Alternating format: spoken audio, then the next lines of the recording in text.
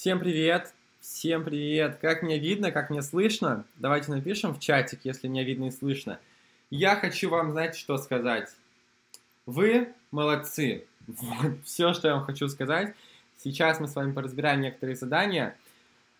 Вот. Е, всем привет. Веточка, ну-ка. Ой. Е, ждем. Отлично. Окейсики. Окейсики. Ну что, бессонные ночи 2.0 продолжаются, и мы с вами сегодня встречаемся для того, чтобы разобрать некоторые задания, которые были на экзамене реальные вот буквально сегодня, сейчас, а, несколько часов назад. Сейчас надо вот что посмотреть. Вот в этом задании, к сожалению, многие мне его прислали и сказали, что в нем были сложности. Наверное, сейчас его объяснять будет очень сложно, потому что оно, в принципе, очень простое, в плане того, что мы его уже несколько раз разбирали, но кратенько. Это здание мы делаем по формуле. Содержание водяного пара равно а, относительной влажности умноженное на температуру. Давайте так, сейчас мы с вами посмотрим вот эти здания, потом открою чат на большой слайд, и мы с вами вместе поотвечаем на вопросы, которые у вас э, возникли, хорошо? Вот, вопросиков будет много сегодня. Следовательно, здесь мы с вами можем либо домножить относительную влажность до 100%, как мы делали раньше, либо можем прям просто взять вот по этой формуле это все посчитать. То есть здесь сложности, я думаю, не должно было быть. Правильный ответ здесь будет 3, 2, 1. Вот это здание тоже у многих было. У кого было, ну, не такое конкретно, а очень похожее здание, когда дали в 16 здании не 100% больше-меньше 100, а дали 0 целых и изменение численности. Вот у кого такое было, давайте напишите, пожалуйста, в чат. А, именно такое 16 здание. Вот. Вид, у многих такое было. Итак, во-первых, сегодня утром, прямо перед экзаменом, я вам написал о том, что такое здание будет. Кто подписан на Инстаграм, тот это видел. Кратенько, как мы делаем это здание? Если число у нас с вами э, больше нуля, то есть 0,1, 1, неважно. То есть больше нуля. Это у нас с вами увеличение. Это у нас с вами увеличение. Понятно, да? Следовательно, какой будет правильный ответ в этом задании?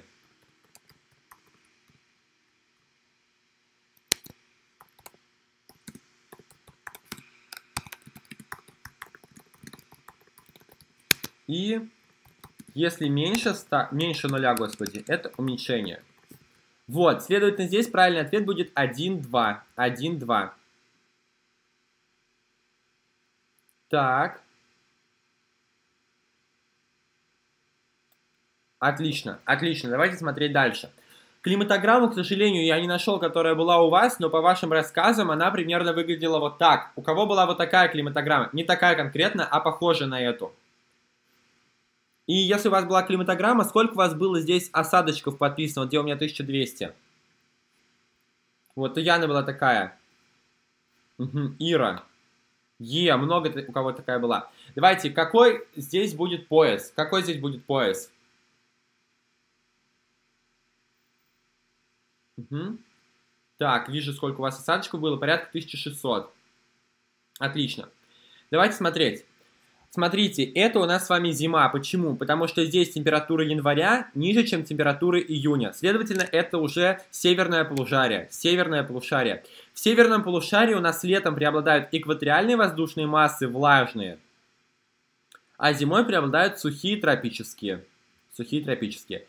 Следовательно, как мы это должны были здание написать и оформить?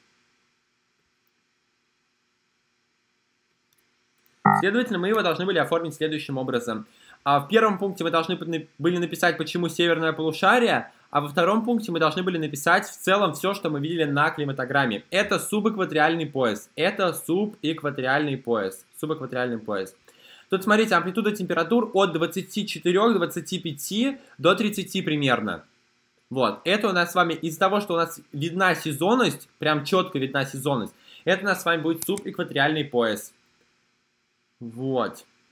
Да, можно было разби- разди- разделить, абсолютно верно. Так.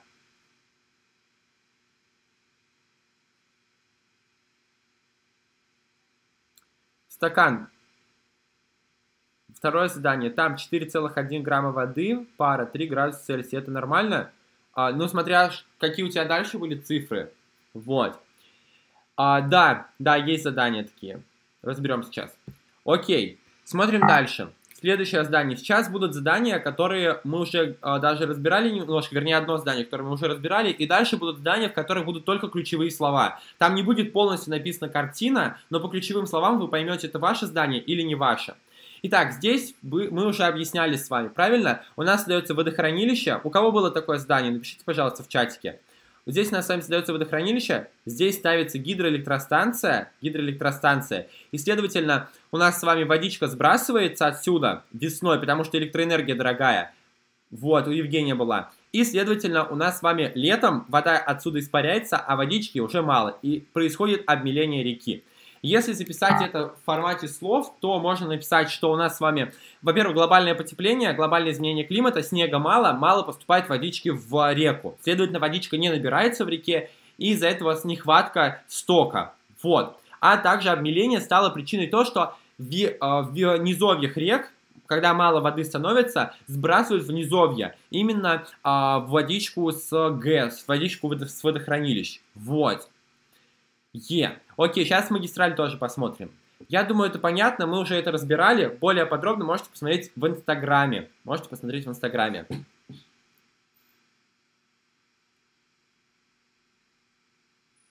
Так. Смотрим дальше. Определите страну по ее описанию. Я не уверен, что это полное описание, но давайте попробуем его сделать вместе. Его сделать вместе. И если у вас есть какие-то мысли по этому поводу, то давайте напишем. А там же уже в условии было написано про межень. Да.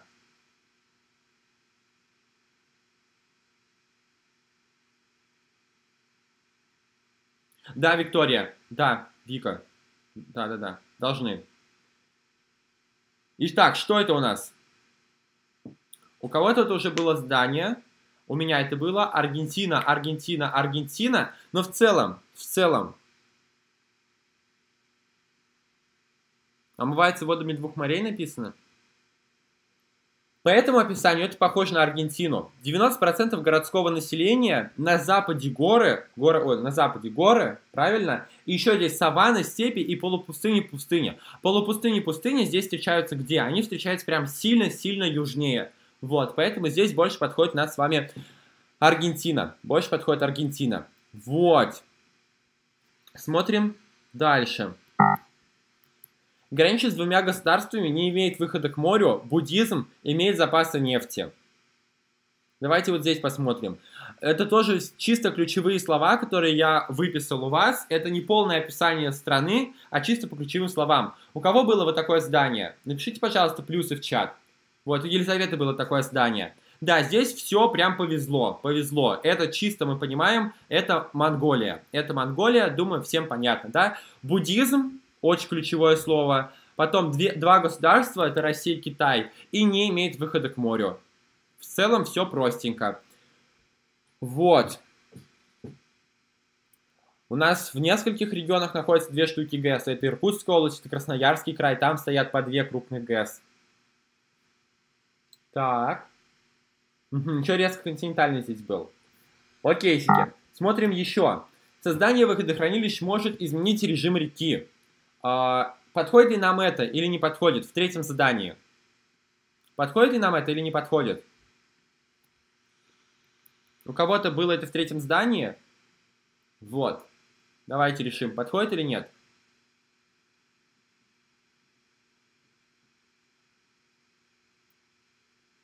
Так, почему не подходит? Смотрите, мы создаем водохранилище. Что такое режим реки? Режим реки.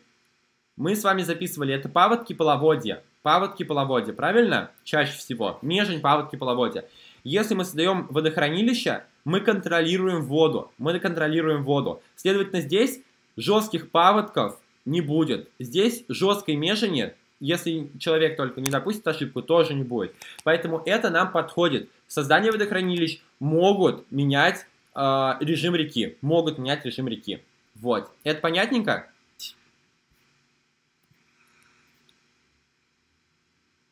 Естественно, тебя видно. Так. Сейчас посмотрим. Муся, тоже посмотрим это здание. А, давайте вот это сложное здание, я, если честно, его еще не читал, вот, потому что мне его отправили буквально за несколько минут до вебинара. Так, стакан не флуди, сейчас удалю, я уже тебе отвечал на вопросик. А, относительно влажность не может быть больше 100%. Не может быть больше 100%, да. Вух, тутурутух.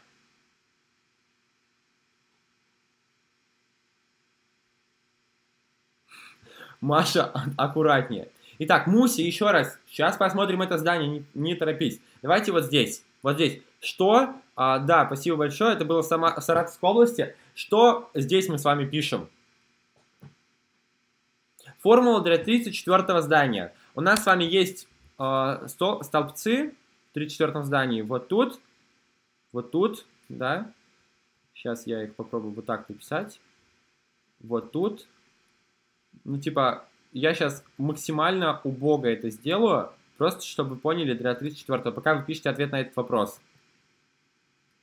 Так, следовательно, в, если нам нужно для этого года найти а, в 34 здании, мы из вот этой, из вот этой вот красоты, давайте а, вот такого цвета, вычитаем вот такую красоту, вот такого цвета, и из этой красоты уже вычитаем вот такую красоту, вот такого цвета.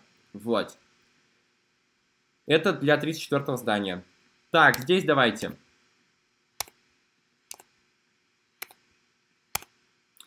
Смотрим.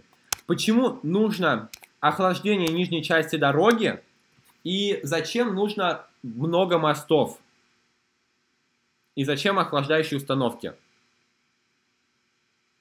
Мы сегодня посмотрим один из вариантов, который переписан нашим э, учеником одним. Вот, там будут прям все-все-все задания, и, возможно, это будет ваш вариант. Вот, потому что мне сегодня несколько человек этот вариант прям присылали. Не, не этот вариант, а задание из этого варианта присылали. Так. Первое, это большое количество рек, правильно? Большое количество рек, и поэтому нам нужно строить много мостов.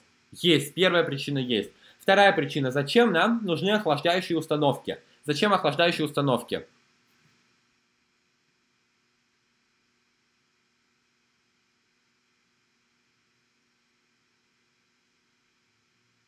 Лиза, да. Лиза, а тебе засчитают этот вариант?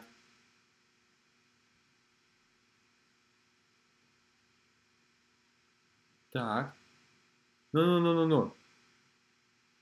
Запись, да, запись идет, запись останется. Напиши мне в Инстаграм. По ссылочке в описании есть Инстаграм. В итоге, смотрите, зачем нам охлаждающие установки вот в этих условиях? Вот в этих условиях. Потому что здесь у нас с вами, во-первых, много причин можно привести. Одна из причин, это у нас с вами многолетняя мерзлота, правильно? Многолетняя мерзлота, и поэтому летом, когда она будет оттаивать, а оттаивать она будет, у нас могут наши мостики, наши железные дороги развалиться. И поэтому охлаждающие установки можно привести именно для этого. Вот, я вижу правильный ответ. Аделия, красоточка. Аделия красоточка, да. Или жаркий климат, он тоже повлияет. То есть он как следствие многолетней мерзлоты, оттаивания многолетней мерзлоты. Вот. Я прям рад, что вы понимаете. Давайте еще вот такое здание посмотрим. Город Стамбул, Турция 41 градус северной широты и Лагос 6 градусов в Нигерии находится на относительно одинаковом расстоянии от северного тропика. Почему в июне суммарная солнечная радиация в Стамбуле в полтора раза больше, чем в Лагосе? Укажите два довода. Ребятки, давайте поставим лайки. лайки. Вот кто-то кто, -то, тут сказал, что нужно поставить лайки. Я прям э, соглашусь с вами. Желательно там нужно было указать мерзлоту. Иначе зачем вам еще охлаждающие установки? Вот. Но, в принципе, там и про температуру можно сказать, про то, что резко континентальный климат, летом все сильно нагревается, и поэтому может там происходить деформация, к примеру. То есть это тоже можно было привести. Е, абсолютно верно. То есть у нас в Нигерии, в Нигерии, в Лагосе, у нас с вами э, будет больше, потому что здесь у нас с вами суб, тут даже экваториальный и субэкваториальный пояс. То есть на границе экваториального и субэкваториального пояса, то есть давайте представим, что экваториальный пояс. Тут постоянно у нас высокая облачность. Высокая облачность не пропускает солнечные лучи. Если высокая облачность не пропускает солнечные лучи, к чему это может привести? К тому, что у нас с вами поступление будет меньше. А вторая причина у нас что будет? Посмотрим сейчас про вырубку леса. Так. Какая вторая будет причина? Ну-ну-ну-ну-ну, раскричались про Германию. Давайте, вторая причина в чем? Больше продолжительность дня. Больше продолжительность дня. Молодцы, молодцы. Вот, угол падения одинаковый. Вот если здесь напишите про угол падения, это неправильная причина. Так.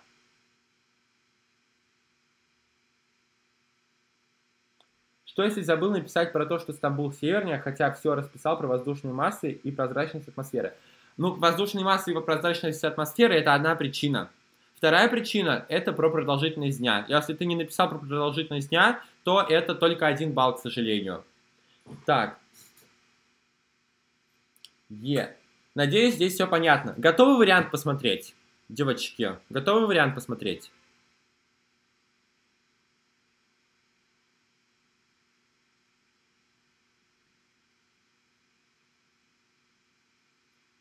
Так. Окей. То, еще раз, он будет у нас написанный от руки, тут будет не полностью все задания, но давайте мы его посмотрим. Это у нас с вами Москва плюс 4, вот. А, давайте смотреть. Населенный пункт, где ты мой? Здание. А, Добрянка имеет географические координаты 58 градусов северной широты, 56 градусов восточной долготы. Определите, на территории какого субъекта находится этот город. Вот. Да, да, могут ли избыточные поливы привести к засолению почвы? Могут, могут. Вот, получается, это первый а, вопросик. А, что у нас будет здесь, в первом задании? Давайте быстренько. У кого такой вариант был? Давайте три плюсика в чат. Что у тебя в 29-м попалось? Кристина. Вот, Кристина, прекрасно. Итак, второе задание. А, расположите пункты в порядке повышения температуры. Как мы температуру находим? По формуле, правильно? Температура равняется у нас чему? Мы с вами содержание водяного пара делим на относительную влажность воздуха. Вот. Е. Да, тут смотрите, у кого-то может достаться, к примеру, Добрянка, у кого-то может быть, остальное все будет другим. У кого-то наоборот, первое здание будет другим, а остальные будут совпадать. Вот. Идем дальше. Какие суждения верны? Смотрим, рациональное природопользование, примером рационального природопользования является использование попутного газа для производства электроэнергии на ТЭС. Это подходит. Атомные электростанции являются основным источником выброса атмосферы в атмосферу серы. Не подходит нам, потому что серу выбрасывает нас с вами цветная металлургия, а не атомные электростанции. И неправильное орошение в засушливых районах может привести к их засолению. Абсолютно верно. Абсолютно верно. Вот. Так. Смотрим дальше.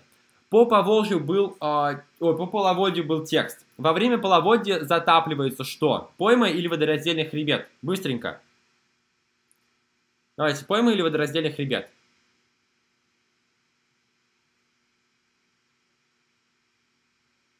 Девочки, во время половодья. Пойма, молодцы, затапливается пойма. Дальше. В центральной части России половодье наступает в какой период? В летний или весенний? Центральной части России мы говорили, они наступают в весенний период, а, а в азиатской части России, даже в, типе, в муссонном типе климата, у нас с вами летний период, в летний период. Вот. Понятно? Сера не связана с атомными электростанциями. Нет, вообще нет. Так. Так, хорошо. Где наименьшая плотность населения?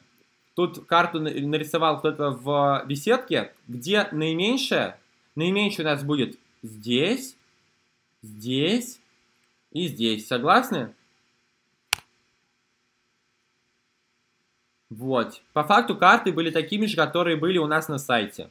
Это у нас с вами Азия, тут высокая плотность населения, тут у нас с вами муссонный климат в Америке. Следовательно, нам подходит вот этот пункт, вот этот пункт и вот этот пункт.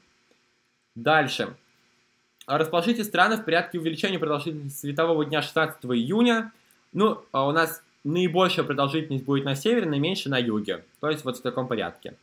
Дальше здесь а, с юга на север расположите а, пункты. Это пролив Дрейка, Карибское море, Гудзонов залив и так далее. Что у нас с вами здесь?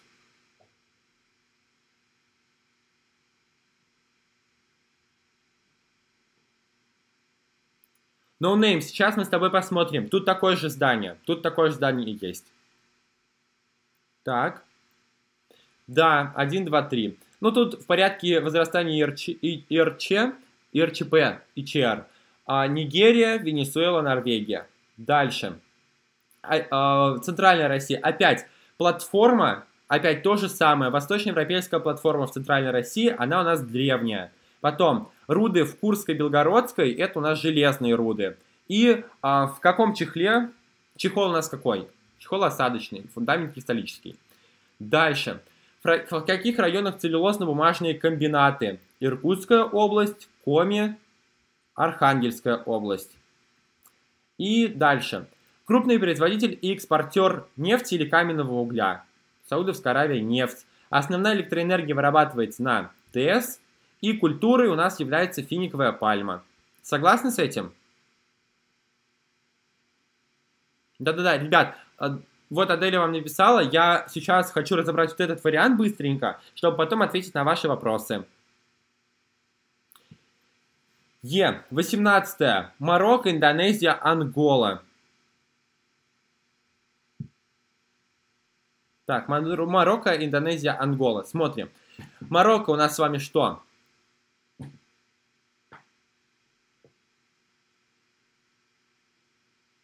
Это вариант э, Москва плюс 4.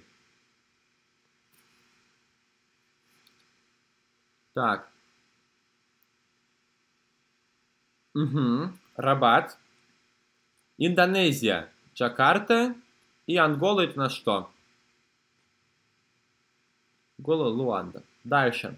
Крупные производители и экспортеры каменного угля. Каменного угля. Давайте. Что мы здесь выбираем?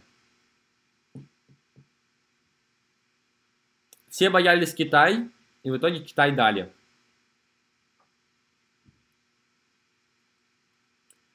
Так.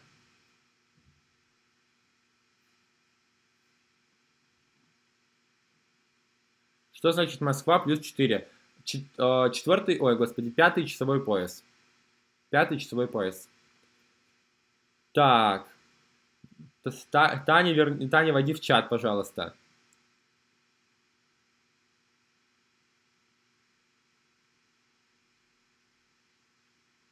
У кого-то была Австралия, у кого-то не было Австралии. У кого-то был Китай, к примеру. То есть здесь нам не подходит Бразилия. Бразилия нам не подходит. Вот. Идем дальше. Ну, самолет вылетел, здесь все понятно. Давайте 24-25 сделаем. Находится в западном восточном полушарии, одна из самых больших на материке, бывшая колония Франции, преобладают пустыни, не имеет выхода к морям, э, а, имеет выход к одному из морей Атлантического океана и является членом ОПЕК. Давайте. Не Канада точно.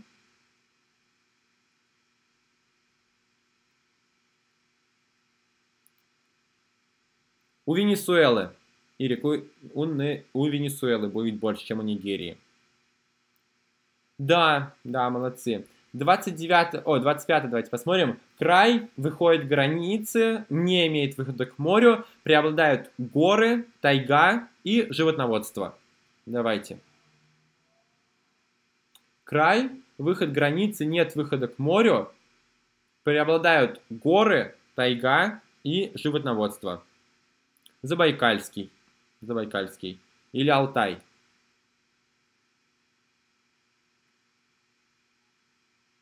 Тайга, ребят, тайга. Обращайте внимание, тайга. Все-таки об Алтайском у нас с вами будет не тайга. Там будут э, переход от степей уже. Давайте вторую часть посмотрим. У кого были такие задания?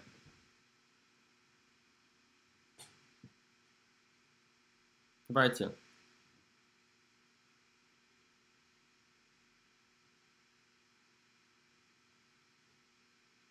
Во, были. Были. Видите, ребят, таких много. Давайте, что мы дел пишем в первом? Что мы пишем в первом, ребятки? Многим достались корабли простые, я за это искренне рад. Итак, 29. Что мы пишем? Как посадки леса способствуют ослаблению водной эрозии на береговых склонах рек и подмыванию берегов.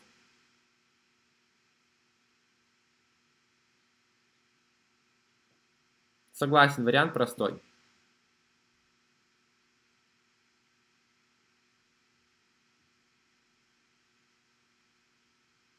Ну-ну, ребят, давайте, давайте аргументики по 29 зданию. Сейчас будем разбирать еще другие здания, которые вы напишете.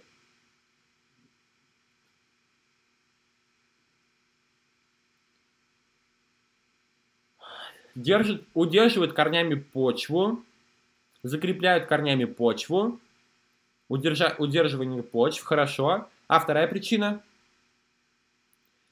да, можно ли корабликах умножать на 111,3? Можно.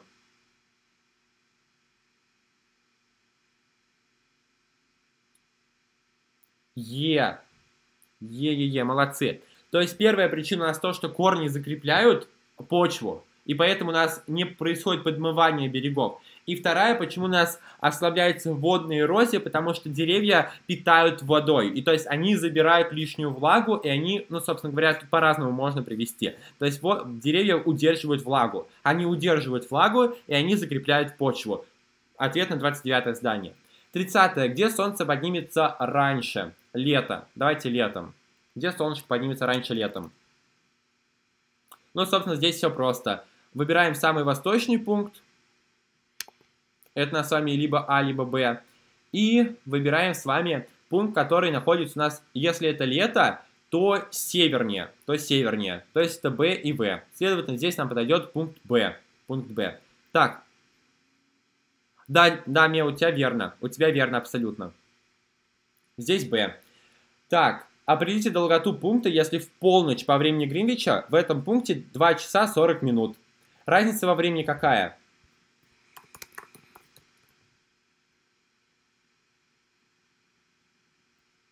Разница составляет у нас 2 часа 40 минут минус 0 часов равно 2 часа 40 минут.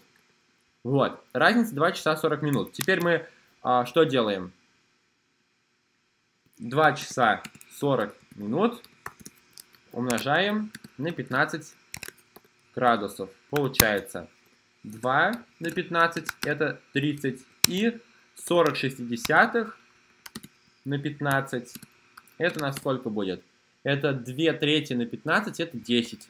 Следовательно, 40. Правильно? То есть у нас с вами будет, э, получается, вот здесь 40. Хорошо. Какая это будет долгота? Восточная или западная? Времени в пункте больше, чем на Гринвиче, поэтому ответ мы записываем так. 40 градусов восточной долготы. Вот. Понятно? вот это здание. Вот если был 1 час 40 минут, то мы бы 15 сложили плюс 10, у нас бы получилось 25 градусов восточной долготы. Если бы был 1 час 40 минут. Вот. Спасибо большое. Итак, а, здесь, я думаю, все понятно. Если еще какие-то вопросики, или вывожу чат и отвечаю на ваши вопросики. Давайте выведем чат с вами.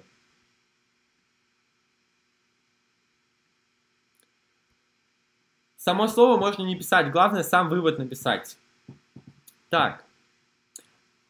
Ой, сейчас я буду останавливать чат, то я так ничего не успею. Расположена в южном и западном полушарии одна из самых крупных по площади на материке, много территорий пустыни. Южная, западная, самая, одна из самых крупных по площади, много территорий это пустыня принципе, вот чисто по твоему описанию подходит, но я думаю, что там было еще что-то, что могло подсказать. Какие отрасли способствовали развитию в Кемеровской области машиностроительного завода? Близость сырья, близость потребителя. Ливис. Близость сырья и близость потребителя. Так.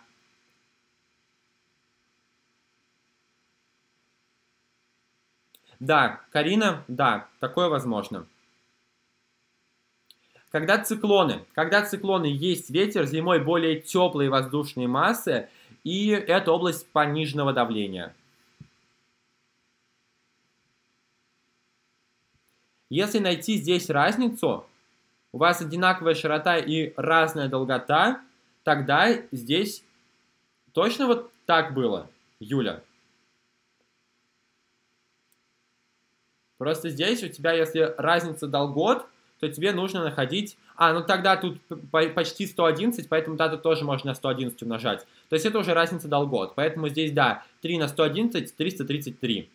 Вот.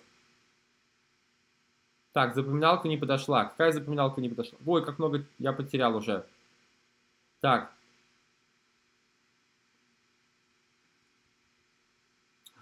В смысле? Алло. Ты про какое здание? Если это ты здание номер 26, то не засчитают. Не засчитают. Можно либо 400, либо 410. Так.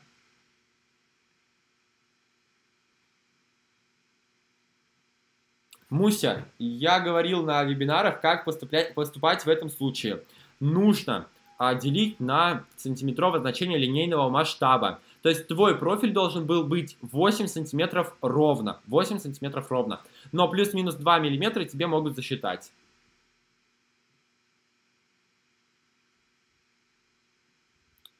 Если забыл написать градусы, минус 1 балл.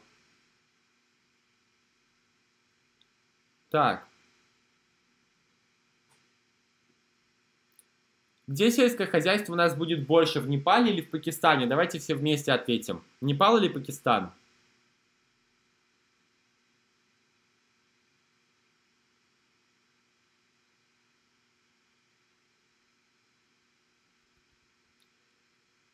Uh, смотря какой вопрос.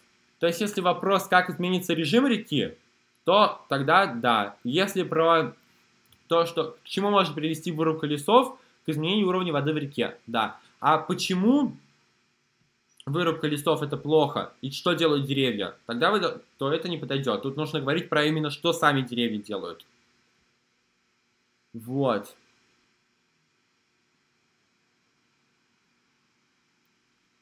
Все засчитают тебе, не переживай.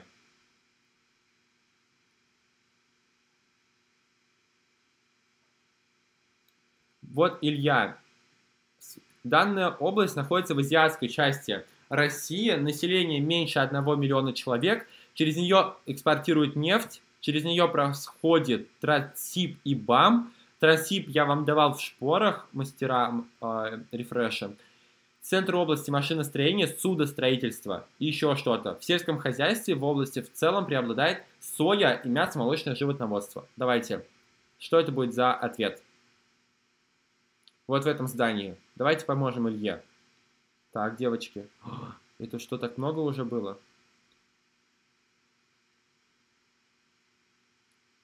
А...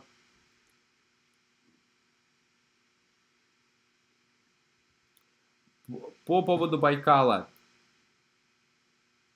Там было про режим реки, Мари. Если там сказано, как изменится режим реки, то изменится межень и изменится паводок и половодье. Вот. Я, честно, не... Я помню, кто-то кидал такое здание, но я его не успел полностью посмотреть. Да, вот это тоже норм. Это тоже норм. Если было 22 часа 40 минут, то находишь разницу. 23 часа 40 минут. И получается это час 20 минут у тебя разница. И уже час 20 минут ты умножаешь на 15 и у тебя уже будет западная долгота. Если это у тебя было 0, в полночь по Гринвичу. Так, давайте я вернусь вниз, а то...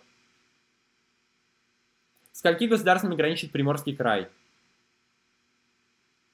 Если я ответил, что в, Стам в Стамбуле длиннее летний период, летний сезон, то мне засчитают...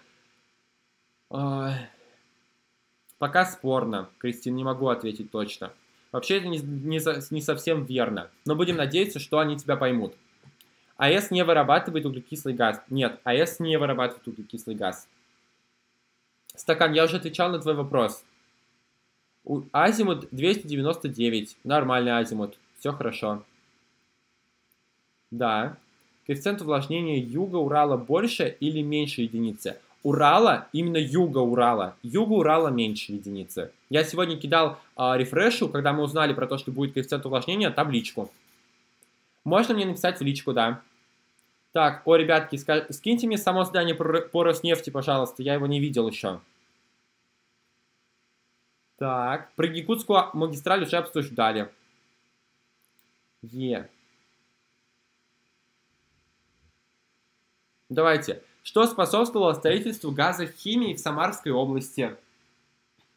Сырье, потому что здесь добывают газ. И второе – потребитель. Все. Так. Развитая монархия импортирует топливо и производит машиностроение и развита химия. Импорт топлива, машиностроение, химия. В принципе, сюда подходит и... Сюда подходит много. Сюда подходит и Великобритания тоже импортирует. И Испания подходит. Наверное, там Арсений еще была какая-то э, добавочка. Вот, если еще какая-то была добавочка, то это подходит под Японию, но еще подходит под несколько других стран. Поэтому там еще должны были какие-нибудь быть фразочки. Так, попалась задача с кораблем, я потерял. А где были координаты широты одинаковые, а долгота разная? А, напиши, пожалуйста, координаты долготы и широты. Если у тебя была широта около экватора, то там нужно было умножать на 111. Если не около экватора, то ту табличку, которую я давал. Вот, давайте ответим на этот вопрос. А, граничит с двумя странами Европейского Союза, две страны Европейского Союза. Выход к морю, крупная АЭС, машиностроение. В принципе, это подходит только под, одну, под один регион. Так, давайте, поможем? Что у нас тут было? Ну, делить расстояние, умножать широту. А, ну вот, Алина, тогда у тебя, видишь, возле экватора. Возле экватора можно умножать на 111. Возле экватора на 111. Видите, ребят, я вам говорил, что они будут давать вам разную, дол, э, разную долготу. Они начали давать разную долготу. Это говорит о том, что а, дальше, ну, то есть вас это уже не застанет, они могут давать и другие долготы. Вот, и другие широты. Да, это Ленинградская, молодцы. Область, имеющая государственную границу с Россией, менее миллиона человек, работает крупная ГЭС, является центром машиностроения и рыболовных снастей. Давайте. Менее миллиона населения области, крупная ГЭС и центр машиностроения. Давайте подумаем. Ну смотри, здесь, в принципе, подходит, к примеру, Амурская область. Вот. Но а, сюда подходит и... Нет, на самом деле сюда много чего подходит. Наверное, тут еще было что-то. Это тут еще, наверное, что-то было. Так. При суммарном коэффициенте рождаемости численность населения со временем сократится, численность женщин сократится. Это численность населения Таиланда уменьшится. Это, да, 1 балл. Это 1 балл. Вот это по факту у тебя э, то, что у тебя спрашивают в условии. То есть то же самое переписал в первую причину. Это неправильно. Если, если я правильно понимаю здание, которое у тебя было. Так, самый густонаселенный на Кавказе с горами и ТОПГП. Ну, в принципе, хорошее ГП. Наверное, еще что-то было. То есть однозначно про Краснодарский край так сказать нельзя. Но, в принципе, это подходит под Краснодарский край. Так, смотрим. Если про Роснефть написать, сырьевой фактор, ребят, не знаю, что там было с Роснефтью. Омывается водами двух океанов, э, сейсмическая активность, миграционная убыль населения более 100 миллионов Добыча золота – это Мексика. Два океана, сейсмоактивность, миграционная убыль, население более 100 миллионов. Да, это Мексика. Это Мексика. А, так, страна входит в топ-10 экспорту топлива, продовольствия и горнодобывающей промышленности сельского хозяйства, плотность населения 3, связано с внешним миром только судами и воздушным транспортом. Ну да. Вот если так, топливная, горнодобывающая Сельское хозяйство. В принципе, да. Так. Где сфера услуг преобладает? В Японии. Если в Китае 50% не рождают детей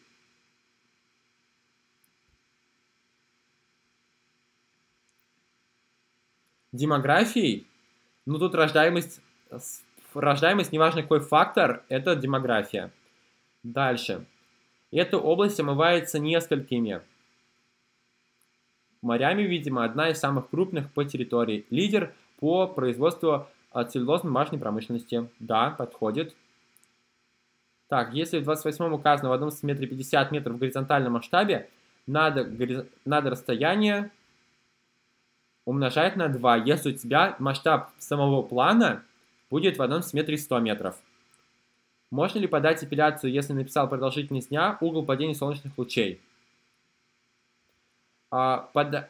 Так, ну вот если ты про то здание, которое мы разбирали, именно связанное с тем, что там Нигерия и Габон, или что там было, Нигерия и Турция, то угол падения солнечных лучей это неправильный ответ. Это ошибка. Об этом уже сказано в условии. То, что они находятся на э, равноудаленном расстоянии. Поэтому это, скорее всего, тебе не засчитают даже на апелляции. Так. Протекает одна из самых длинных рек в европейской части, добывается нефть, столица древнейший город, миллионер. Ну да, это Татарстан. Во Франции овцеводство или молочное животноводство. Овцеводство у нас развито в горных районах, поэтому тут будет животноводство. Реки Центральной России впадают в Атлантический океан? Конечно, впадают в Атлантический океан. Дон, впадает, Дон Днепр впадает в Азовское море. Потом э, Нева, Западная Двина. Да, есть, конечно, в Атлантический океан они впадают. Так. Э, пирамиды. В общем, нужно было написать, почему сократилась рождаемость и увеличилась смертность. Сократилась рождаемость и увеличилась смертность. Угу. Если вам говорят не про суммарную рождаемость, то зачем вы приводите женщин? Тут нужно сказать, э, рождаемость могла сократиться из-за чего? Хотя да, рождаемость могла сократиться из-за того, что количество женщин уменьшится. Абсолютно верно, абсолютно верно. А увеличится смертность из-за того, что увеличится доля пожилого возраста. Увеличится доля пожилого возраста, из-за этого увеличится смертность. Вот. Так. А...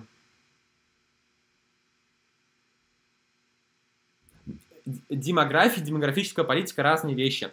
Демографическая политика мы с мастерами разбирали, на рефреше разбирали. Это когда у нас государство вводит жесткие меры. К примеру, Китай говорит, вы можете рожать только двух детей, третьего ребенка я вам не позволю рожать. Или вы можете там, не знаю, что еще там, Индия аналогично. Демографическая политика это политика, политика государства. Там обязательно государство должно вводить какие-то ограничения. Вот. Просто люди не рожают в горах, потому что там тяжело рожать, это не демографическая политика. Так. У меня была область, находящаяся в азиатской части России, выход государственной границы, в центре области горно-шахтное машиностроение, там производят э, рыболовные суда, и в этой области имеется две ГЭС. Так, интересно, давайте. Кто что думает? Просто уже об этом здании написали два раза до этого, и там везде была разная формулировка. Я уже боюсь немножко говорить.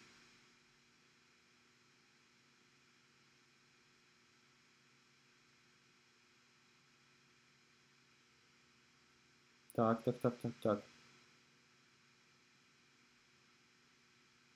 Амурская. Иркутская. Так, еще. Ребят, давайте сейчас а, будем отвечать, а то в вашем потоке я все обязательно посмотрю сейчас, что успею. Давайте вот подумаем над этим заданием. Над этим заданием. Где оно? Вот. Азиатская часть России, выход госграницы, в центре э, горно-шахтное машиностроение и производят рыболовные суда. В области имеется две ГЭС. В принципе, это подходит... Э, так, сейчас я... Секунду. То есть реально это подходит под э, многие ГЭС. Так. Секунду.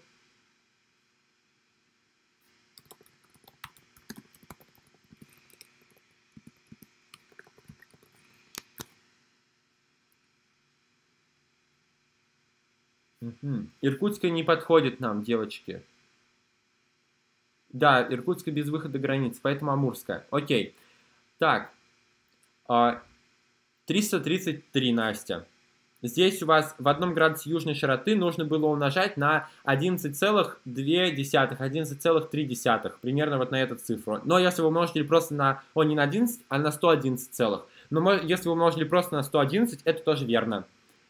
Так, омывается двумя морями, вот вопрос. Омывается двумя морями в двух частях света, добыча нефти, 90% территории пустыня, столица, один из крупнейших городов на материке, на материке, развить международный туризм, легкая пищевая промышленность. Давайте. Добыча нефти в Египте у нас ведется. 90% территории пустыня. Так, смотрите. Э,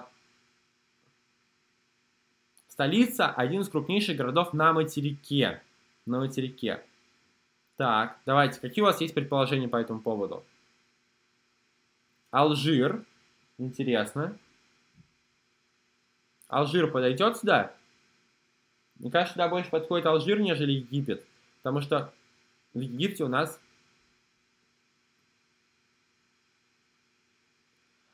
Там нужно было, там не нужно было округлять до целого числа. А, нет, не нужно было. Тогда все верно. Верно, Елизавета, все верно, не снимут.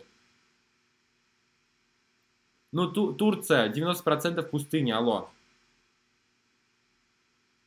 Так, давайте подумаем. Сколько морей у нас может омывать а, берега Алжира? Угу, интересный вопрос. Так.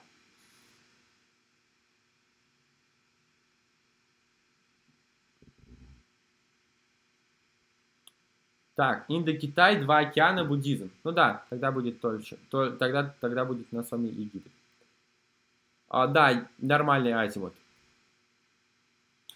Вот.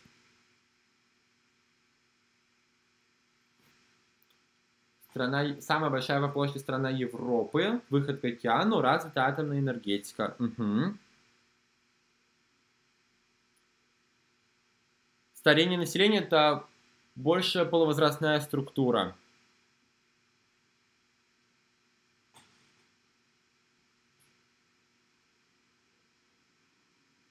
Эквадор промышленность, Чад сельское хозяйство.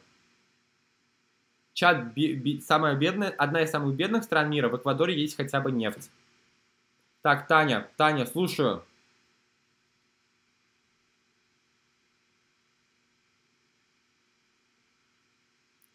Не 11 километров, а 111 километров. Тебе не снимут балл, естественно, не снимут. То есть вам засчитают любой промежуток от 111 до 111,7. Вот.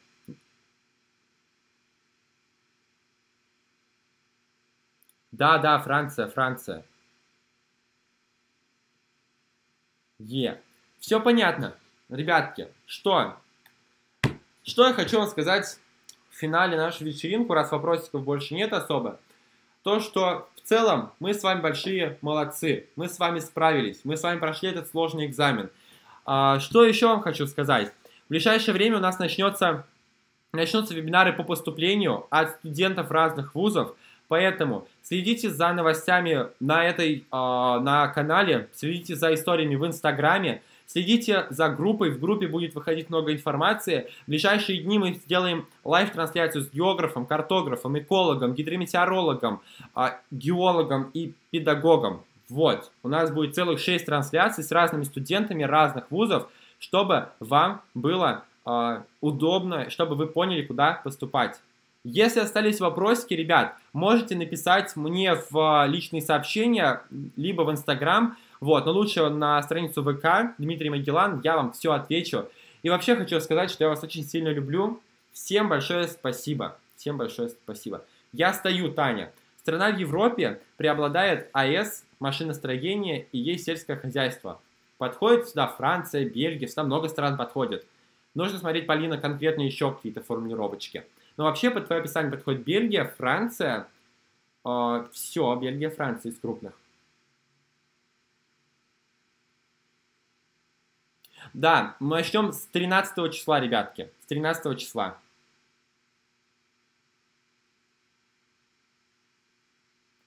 В 30 здании про отрицательное влияние водохранилища. А что там за отрицательное влияние водохранилища? А, то есть сведение лесов и влияние на флору и фауну в связи с изменением климата.